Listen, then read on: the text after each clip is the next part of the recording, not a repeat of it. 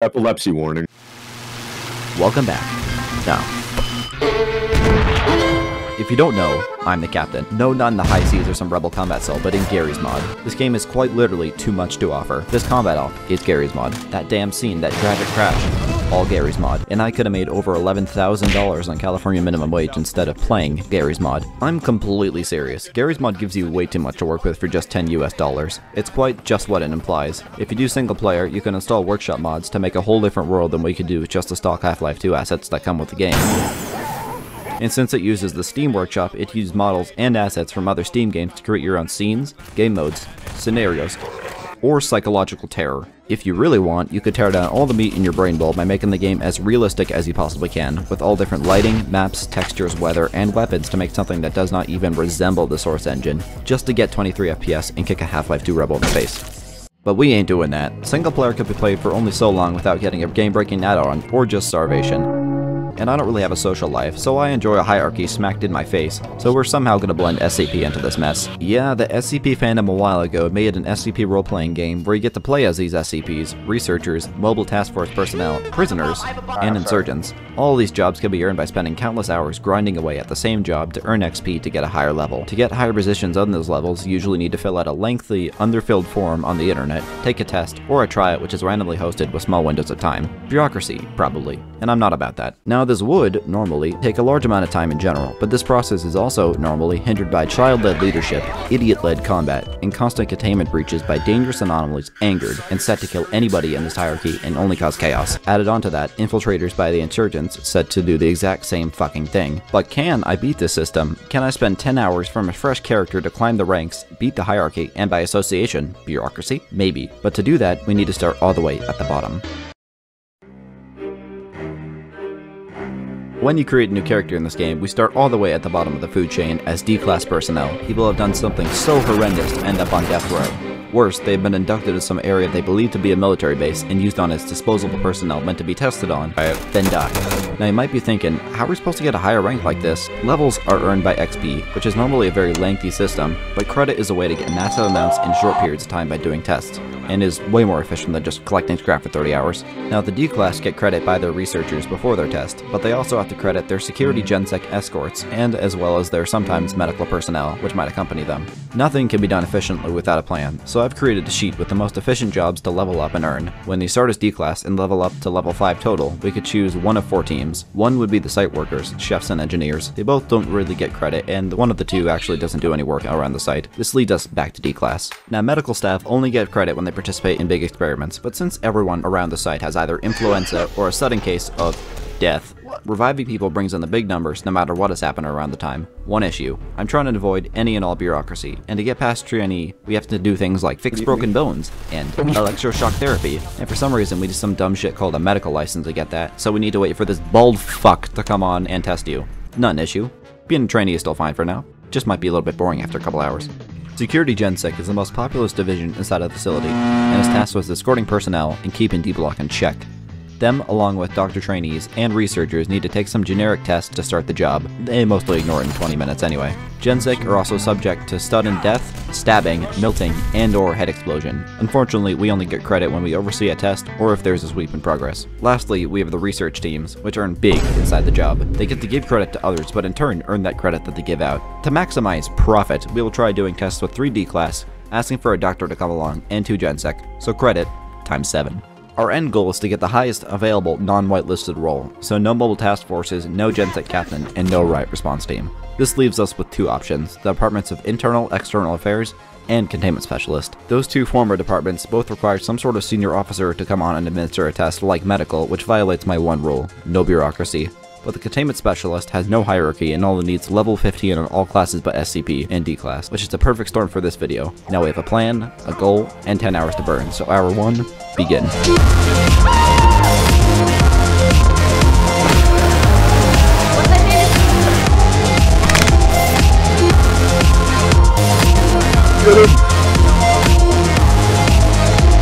Heading for electrical center, get them!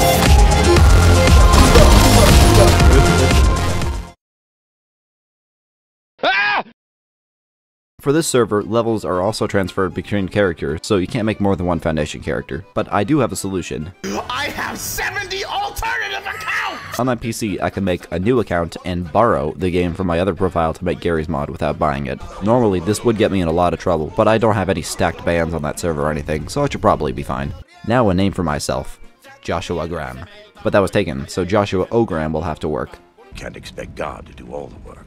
And we begin inside of the containment area of D Block where my fellow workers will be living for the next hour or so. I immediately noticed all the trash all over the floors, as well as a dead man, presumably dead for the hostile working environment.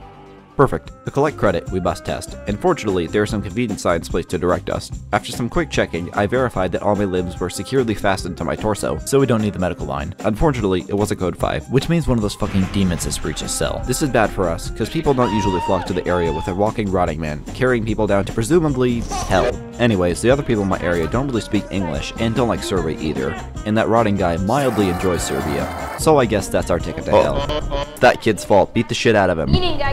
Meaning I can now Chef, shoot that kid. Well, that kid just said the N-word. Let me just, uh, quickly solve two problems at once. Hey, Thornton. Hello? I got someone perfect for the femur breaker. Could you arrange for that? Yeah, sure. So after I had some arrangements made, we had a sergeant meet us when we escaped that guy's rotting world, to put him back into the room that summons him to his containment cell. We do that by breaking someone's femur and putting it over the public address system. No, I didn't actually arrange for that. These things just sometimes Get me outta happen, and I don't think these guys really want me to go back to my cell in one piece. Back at respawn, it seems like someone was trying to get inside, but who, we would find out soon.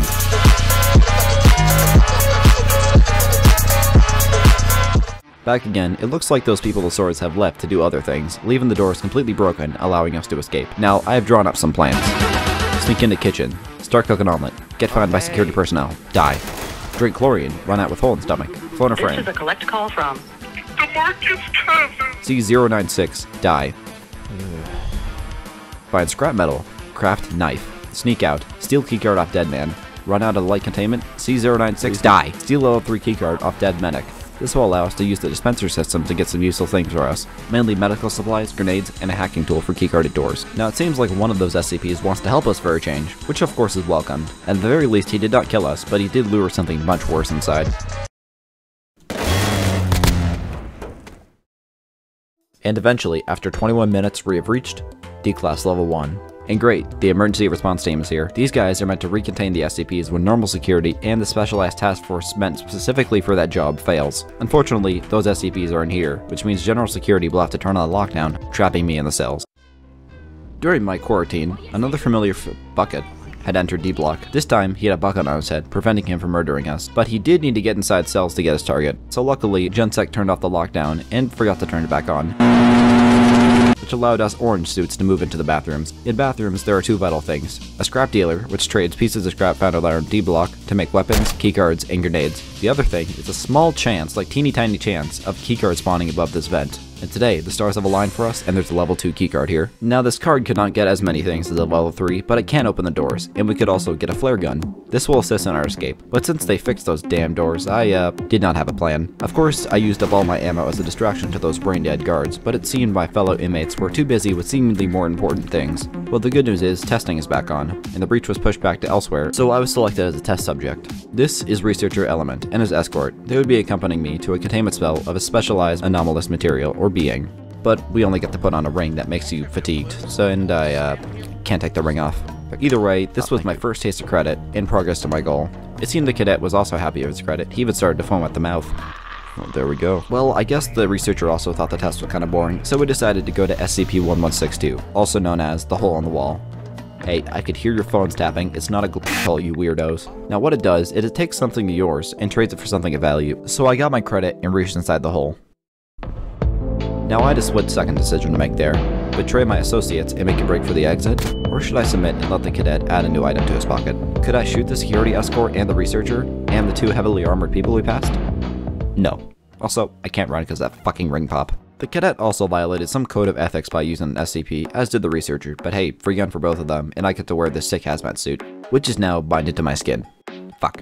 Well, our only solution is something that the server calls EST, or electroshock oh. therapy, which is essentially just being killed with an M9K Javelin, reviving the patient and hoping it'll fix the problem. And it did, after the medic missed the easiest 360 known to gaming. I don't even know how I died here, maybe it's that dumb ring or that orange fuck. Ugh. Oh, look, a javelin, and a little EST for you. Back at it again, looking for credit, but not without old Rusty Stabby Sr. I made my way over to the testing line and witnessed the torture of a fellow soul. He uh, did not take that too well and killed somebody. Only for none of the security personnel to use a gun, a cadet trying to tase him to death, and a researcher with a PKM machine gun for some reason to blow his damn head off. And of course with the server, someone stabbed me to death for no reason at all, leave me down and walked away. Of course, I have no choice in the matter but to go back in line, and this time I got chosen, and they killed that racist Russian kid again. Racist piece of shit. Mr. T- Mr. Tickle, I'm not saying that. That researcher and Mr. Metal Lungs here were escorting me to the heavy containment zone this time. This is where they keep all the specialized and also extremely dangerous anomalies. Well, just my luck, I got the most bland SCP they could bring to me. It's purely an infinite staircase. They handed me a head camera for the purpose of science. I'm supposed to find the end of an infinite staircase. There's a breach announcement, but, you know, I'm sure it's fine.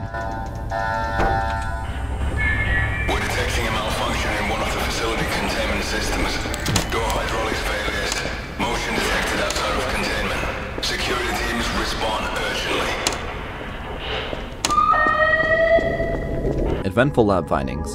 A table? Blood? A whole lot more blood, and what is that? Yeah, I'm running back up. I don't. I got my credit. I don't care. One problem, it seems that the containment breach started. They just uh, said see ya and left to go to a safer area. So I called God. Well, not really in God, but in the context of this game, you're supposed to call the admins God, and he took pity on my mortal soul and let me roam the heavy containment zone, which where I would now Again, we have been borrowed by Demetrius Tickle to go to the heavy containment zone. Again, due to the containment breach, you know, inside of the... You know, we're going to call it HCZ. Normally, we're not allowed to go inside there during a containment breach, especially when the breach is happening inside of the testing zone. So why are we doing this? Nah, I don't know. All these people are here too, to watch this guy in a jacket for some reason. As we saw before, this guy is a special property. He sometimes has a machine gun. He could also bend the forces of reality. So why do I have to go in there as the MTF watches me get my head blown off? I don't really know either, but all the MTF left, and the researcher did not really know what to do after, so we just kinda left to go do another test, with more credit. And finally, after around an hour, we have finally reached our first goal. So now, as we stated before, we have three different choices with all different three credit classes. This time, I chose medical with a doctor trainee. This would be a pretty easier task, and all we have to do is just heal people, and the cash flows in. Or so I thought. Anyways, I can't just skip jobs immediately because that would violate the server rules. So I did their test, infected the guard with some crystallizing disease, and told him, Yo, you look like a crystal man. You look like a crystal man. You look Take the pill. Take the. Pills? and took another SCP to revert the effects, and went back through the site to change jobs. As medical teams, we don't exactly have weapons either, or really anything but a medkit, and another medkit for, uh, some reason, and defibrillator pals. If they fall below zero health, they become downed, and you'll only have to use a medkit. If they become ignored by the doctors, they will die, and usually can't be revived, unless they were shot when they were dead, or revived already. Anyways, there's not related Code 5 or major raid going on, so I might as well follow around researchers for their test. D-Class are mostly used for dangerous testing anyway, so that's good for us, and this D-Class, which gets to only take candy from a bowl. But hey, only take two. You wouldn't want... Greedy bitch. He might need some EST. And look, they even gave me some cash for bringing him back to you. Yes, you. I'm no longer asking. I'm demanding. Your important family members have been shipped to the Maldives in ATR-72. I have one simple request for them to be shipped back to, um, Dover, Delaware. Join the Discord. We need more members. We are invading Roro Island. They're using my name without my permission. We need to intel combat control fire teams to set up an airstrip for strategic bombers. The information's in the Discord. Okay, not really. Do not invade Micronesia. That's illegal. Thank you. It looks like people in the facility are not being injured fast enough. It looks like we need people to be injured more.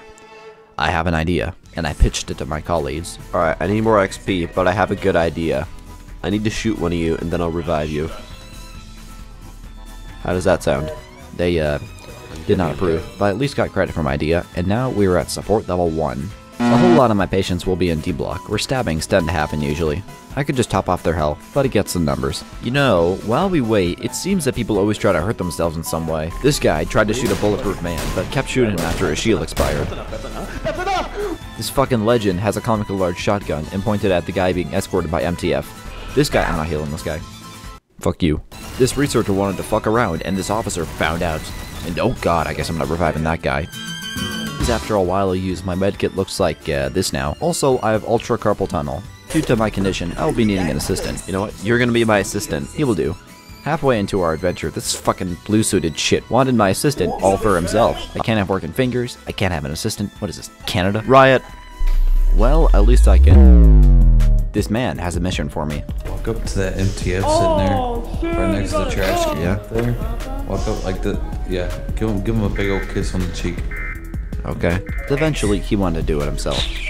I don't think he noticed with all the damn Kevlar he's wearing, though. Oh, there's a firefight in the airlock area. More healing for me. As long as those cadets keep on missing their shots, I keep on having customers. I stayed there for a couple more minutes, ranking up XP, but this server's hardly full on a Friday afternoon, so I'll check out some other things that are going on here, like the printers. I'm gonna need that back. Wait, what You the ain't fuck? getting Why am I shit. being cuffed? This containment specialist thinks there must have been something on this document so bad to warrant my arrest. The confused people reviewed the evidence and they were not amused. Right there. What the hell are you guys laughing at? What the fuck? I appreciate documents like that. Those are great. And that was the end of hour two. I kind of lost the footage, so my notes tell me, yeah, well, they don't really say much of anything happened, but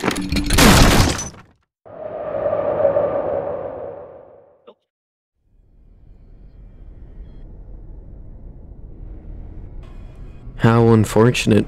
Now you're like me. that voice. You did this to me. So, why don't we make a deal? No, I don't want to make a.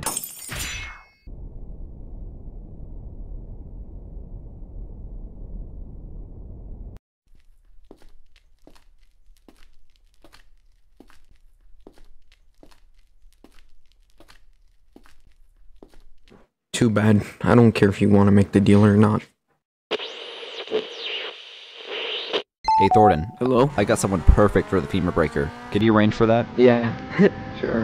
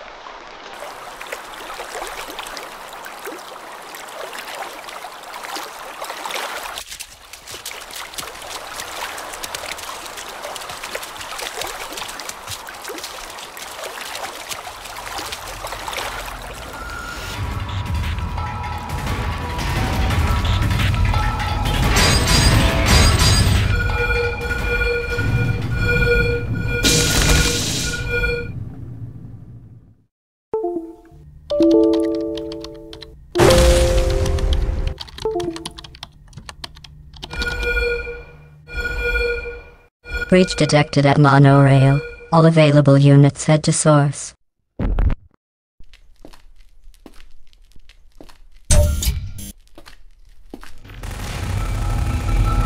What the fuck is an Alpha Warhead?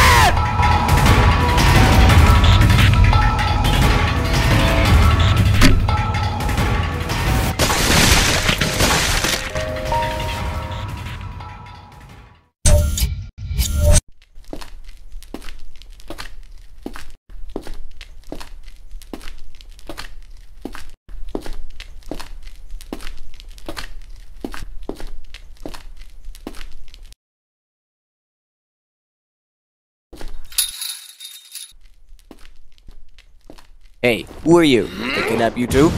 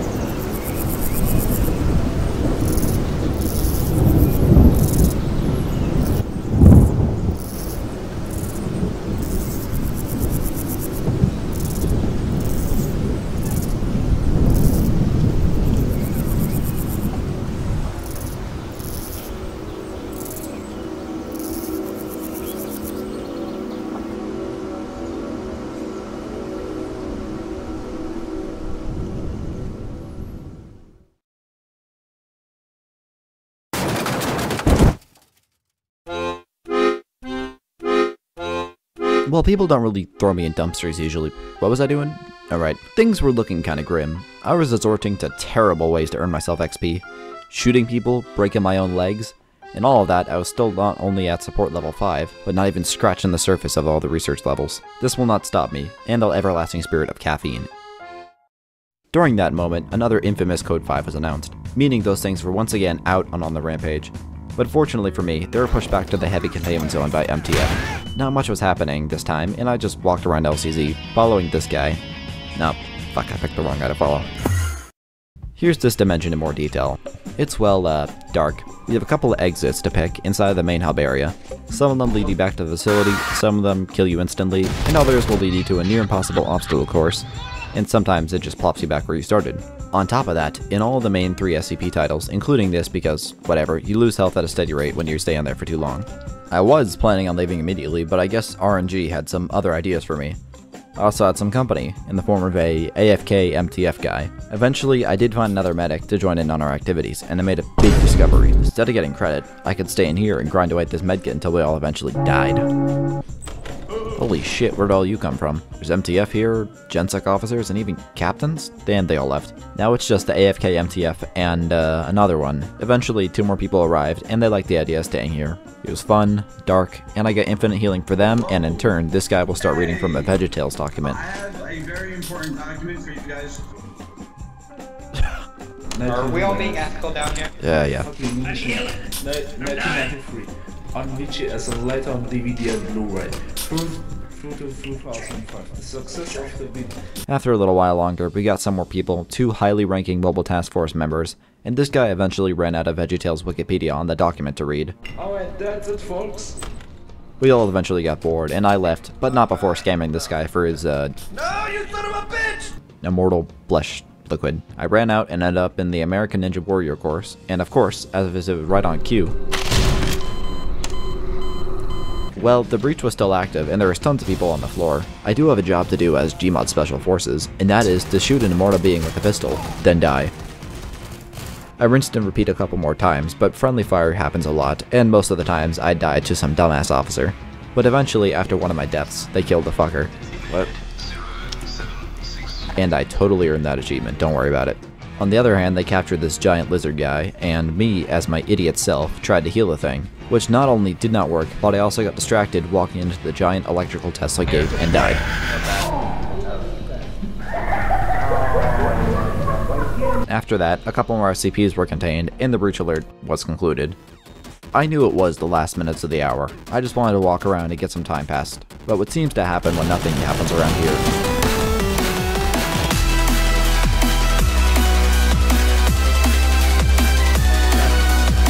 Gunshots rang through the hallways. All the people in that room turned their iron sights towards a small room and began to fire. Well, everyone but the department director that did not seem to realize the severity of the situation. The light from the flashbangs bounced off the walls, and everyone in the area quickly rushed into the situation, guns first. I tried to revive one of the fallen Chaos operatives to arrest and interrogate him, but to a no appease, pretty much everyone with a weapon died around me, and as CI closed down my position. They did not really seem to care about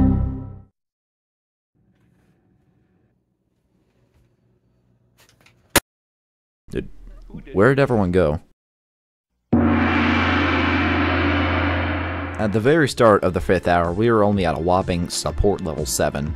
I was getting very nervous of completing the challenge, but I knew if I did not, I would have a great video on the medical department. Either way, it seems these guys are having trust issues again, and they don't want to listen to each other.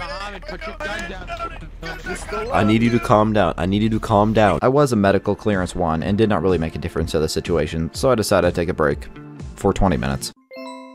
I don't remember exactly what I did at the time. I do distinctly remember getting out of my chair and falling into bed. Then, after the break, I looked at my poorly no-name soundboard clips for a few minutes and laughed to myself.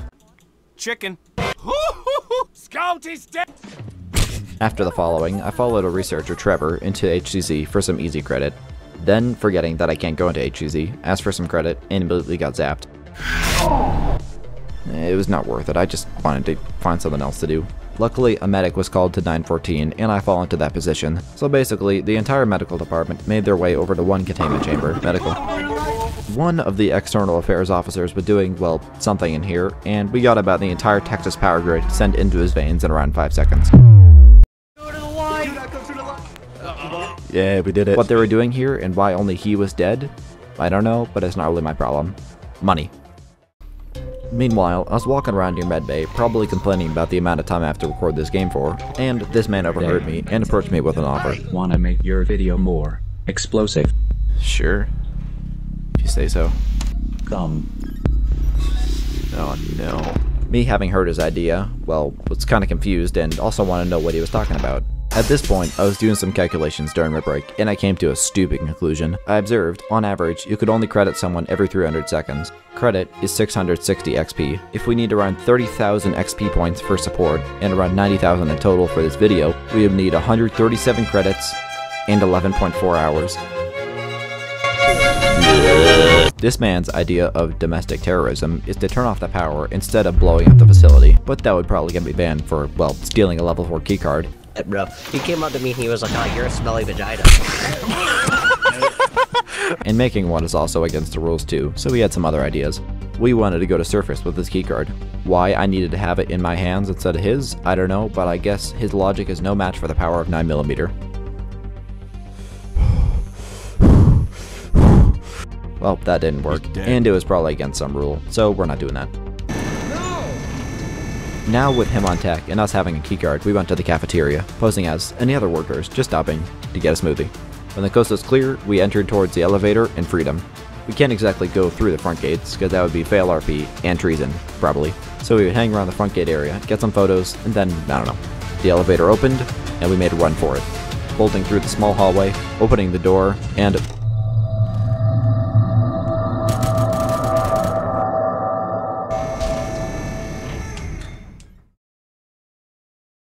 Well, that video didn't exactly go how I thought it would, but I'm kinda happy for that. For one, I don't exactly have the willpower to play a game for 24 hours straight, and, well, with the general security rework that happened recently, Containment Specialist is no longer a thing, and it's kind of been blended into security and slapped an LMG to his hands.